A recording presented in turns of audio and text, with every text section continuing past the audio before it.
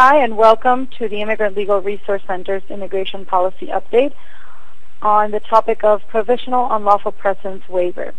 Today February 4th, 2013, and your presenters will be Lourdes Martinez, the Immigrant Legal Resource Center staff attorney, and Erin Quinn, another staff attorney here at ILRC. On January 3rd of this year, the Department of Homeland Security published the final rule establishing a process for the provisional unlawful presence waiver on Form I-601A. The process will be in effect as of March 4th, 2013. So what is the I-601A provisional unlawful presence waiver for? It is to waive the unlawful presence bars that are triggered when an individual leaves the U.S. to apply for an immigrant visa at a U.S. consulate in their country of origin.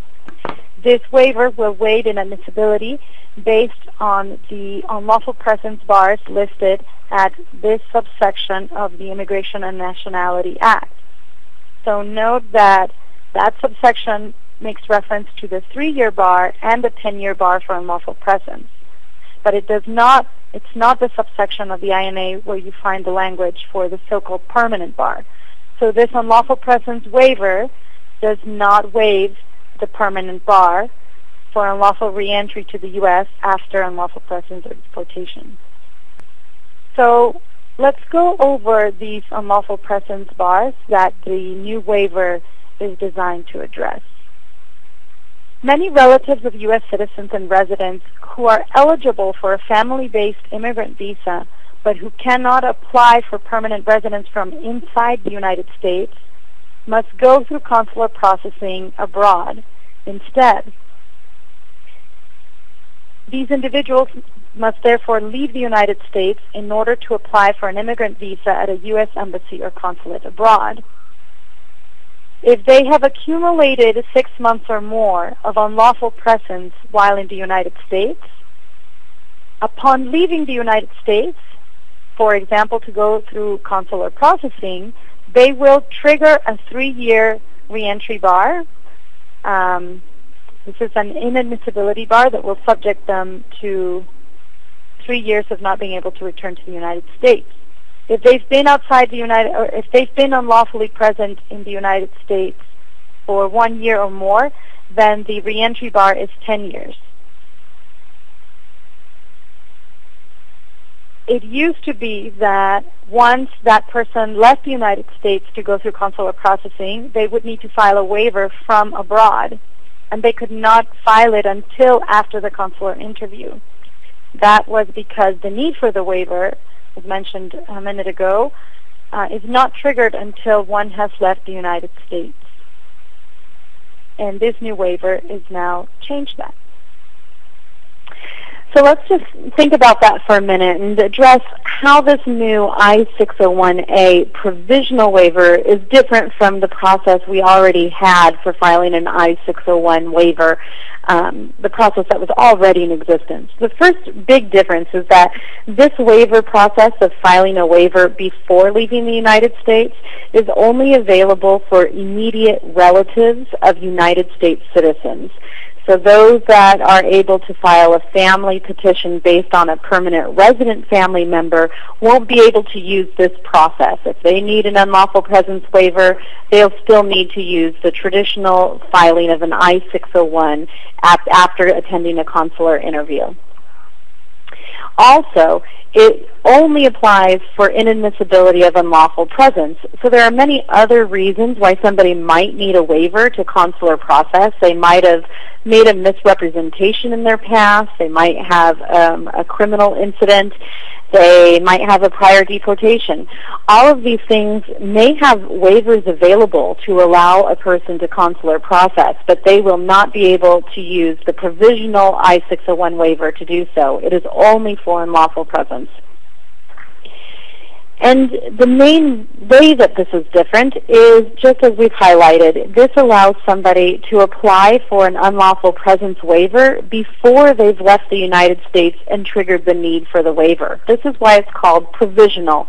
It's allowing somebody to stay in the United States waiting for this waiver to be adjudicated so that USCIS can decide yes or no before the person takes the risk of leaving the United States, separating themselves from their family, and potentially getting barred from reentering if a waiver was denied after the consular interview. What's really important here is that both waiver processes are still available. So for the, the limited group of people that qualify to file an I-601A provisional waiver here in the United States, they can do so. But for all other, others, the traditional I-601 filing is still available. So that will apply to those that have other grounds of inadmissibility that they need to waive, for those not consular processing and actually filing an I-601 in conjunction with an adjustment of status here in the United States, either with USCIS or an immigration court. Uh, and additionally, anyone that might be eligible for any waivers of inadmissibility could still use the I-601 or other waiver forms and go through the traditional channels that have already been established. So both processes are still alive and well. So now let's go over the eligibility requirements for the provisional unlawful presence waiver on Form I-601A. A person is eligible to apply for this waiver, waiver if he or she is physically present in the United States at the time of filing the waiver application, is at least 17 years old, is the beneficiary of an approved immigrant visa petition classifying the applicant as the immediate relative of a United States citizen, is not inadmissible under any other section of the Immigration and Nationality Act other than the section regarding reentry bars, um, specifically the three-year and the 10-year bars. If he or she already has an immigrant visa application pending with the Department of State, and they have paid the immigrant visa processing fee, and we'll talk more about the process in a minute here. Only applicants scheduled by the National Visa Center on or after January 3rd of this year for an upcoming initial immigrant visa interview are eligible to apply for the I-601A.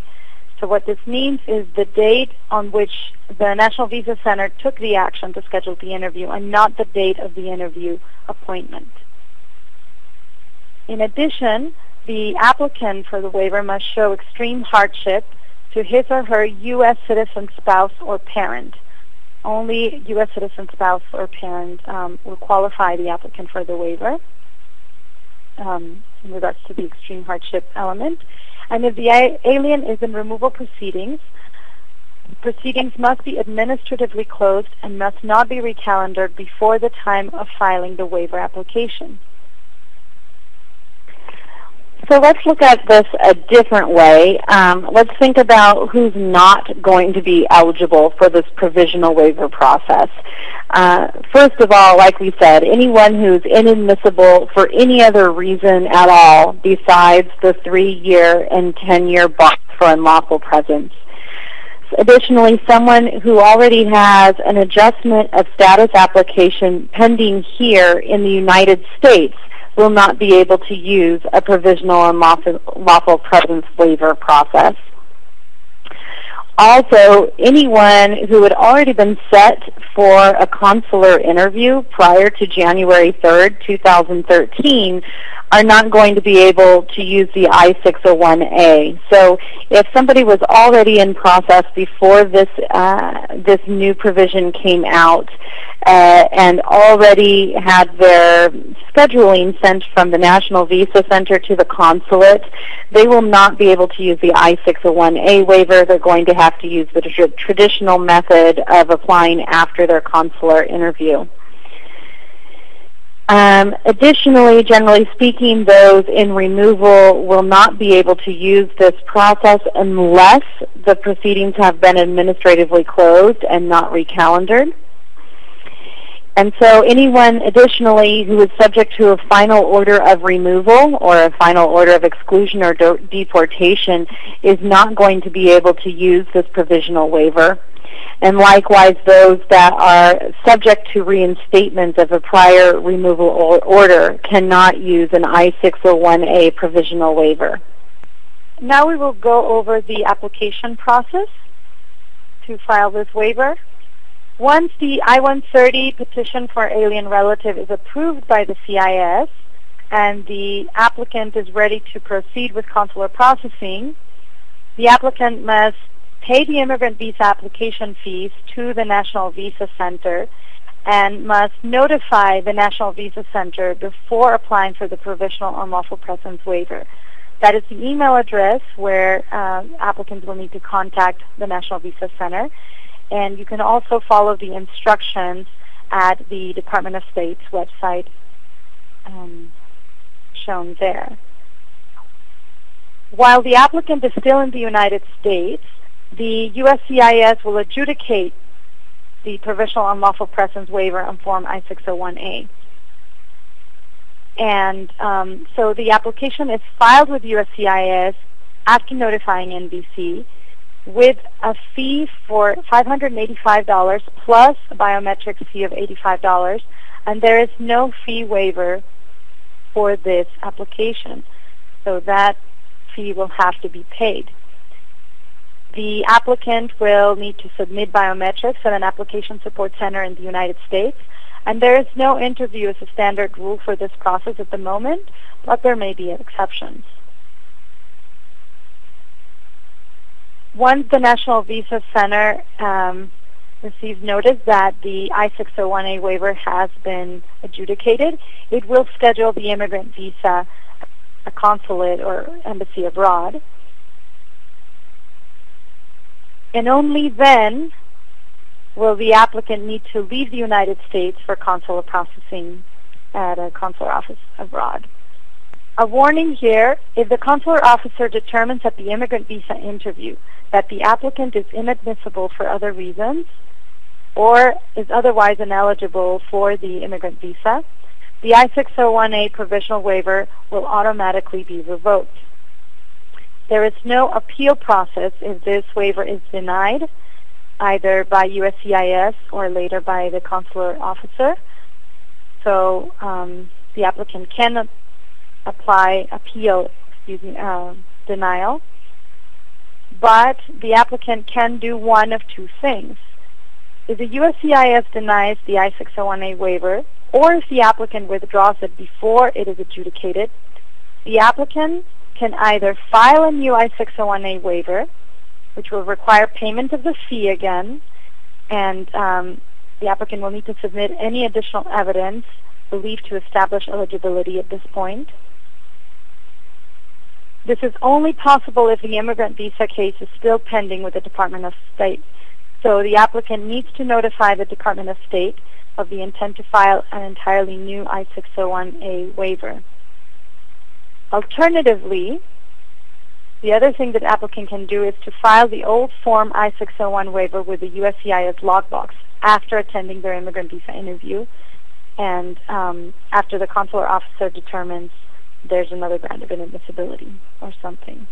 So what is the risk if the I-601A waiver is denied?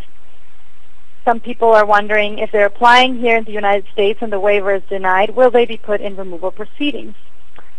So the risk is low for individuals whose only ground of inadmissibility is the unlawful presence.